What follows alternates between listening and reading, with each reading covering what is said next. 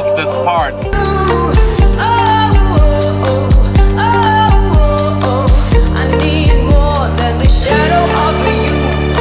Party was great. It's Friday morning, already quite late, so about time to get ready.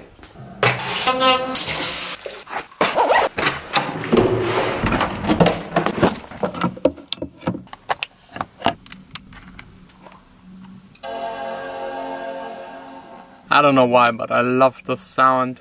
Today it's time to get the last bits done on my track Shadows. Um, it's actually only left to take care of the automations. That's something that doesn't make a whole lot of fun, um, mainly because Logic is really bad in it. If you move things around, the automation is not really working.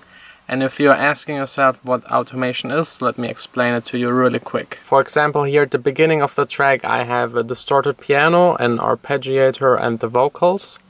And I want the arpeggiator not to start right at the beginning, I want it to slowly volume fade in. And for doing that you need automation by pressing A, you go into the automation mode.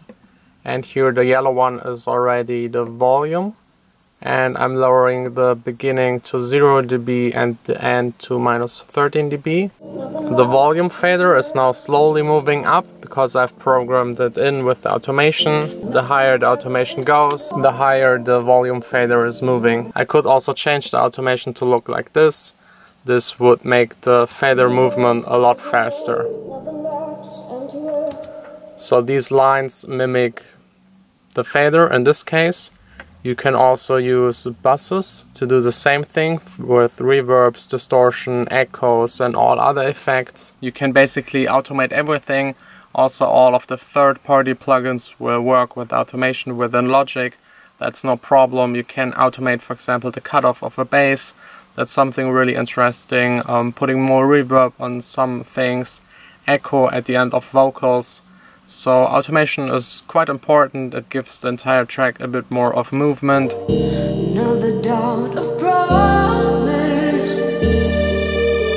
I got now two automations on the end of the vocals, one is a delay.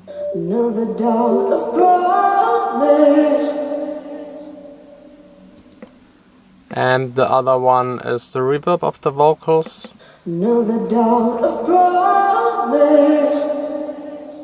I used both effects really subtle. This is the beginning of the track. I don't want that there's too much going on right away. What I also like to use is the automation curve tool. With it you can just bend the automations in any direction and get a steeper curve. The automation menu can be sometimes really tricky, especially if you use um, third-party plugins. For example, here I have my Diva synth, and to find here the right thing is nearly impossible.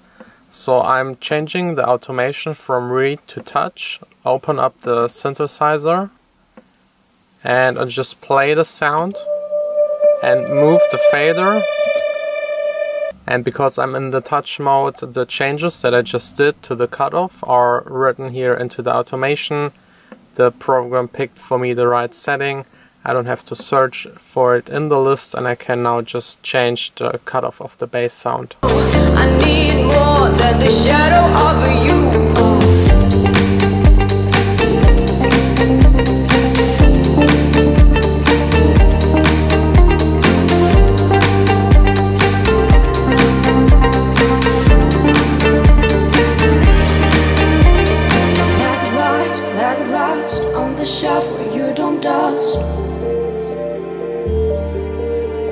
I'm all done with the automation, so technically speaking the track is done.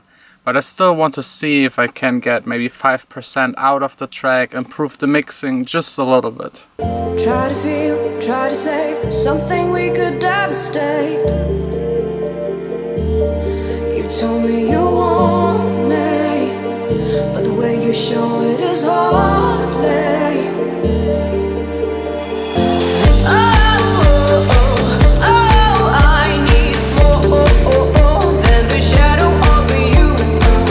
Little bit it turned out to be uh, 8 hours, just the mixing. I've made 9 different versions, all of them just with the slightest changes, maybe half a dB more bass, less bass, a little bit more kick, a little bit more chorus on the vocals, a little bit less reverb, a little bit more reverb, blah blah blah blah blah, a whole lot of stuff I've tried out and I now have my final decision. It is perfect. I don't think I can make it any better at this point and I'm super happy. Another finished track and maybe one more quick tip if you're comparing um, versions of your track with a Mac there's a really easy way. You select the track, hit the spacebar, this opens up this preview window and you skip to a certain point of the song and with arrow down you change to the other version and click the same spot and with arrow up again you can change in between of the two instantly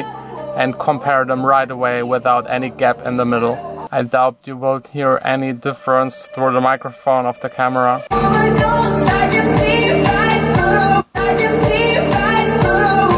If you do this with iTunes or any other program, there will be every time a little gap in between and it's harder to hear the difference if it's not coming immediately. I don't know when it will be released, um, who knows, I hope this year.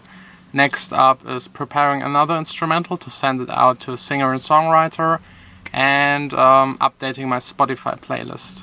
If you're interested, I will put a link down below where you can check it out. I update it every week and put in there the most inspirational tracks. It's always the same, I just wanted to change one or two things. Now I reached version 10 to 13.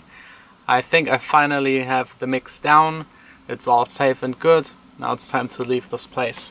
Getting the mix right is always the hardest. It takes the longest and it's the most annoying part, but when you get it right, it's the most fun. I think I got everything right on this track, so I'm in a good mood. Time to celebrate. I don't know what happened, but here are already three trams waiting in line. This is number four and five, six and seven.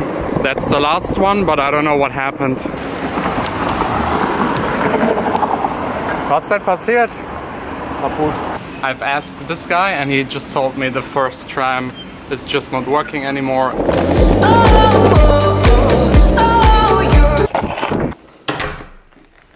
Just getting rid of the skateboard and the laptop. New shirt, time to go. You know, actually, uh, maybe I will just listen really quick to the track with headphones and make sure everything is alright. Yeah, sounds amazing. My quick listening session took uh, quite a bit longer than it felt like.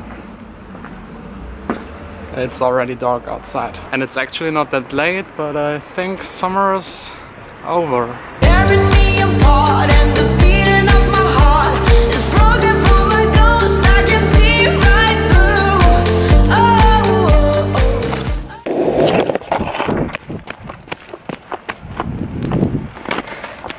I knew this was going to happen. I was just too slow.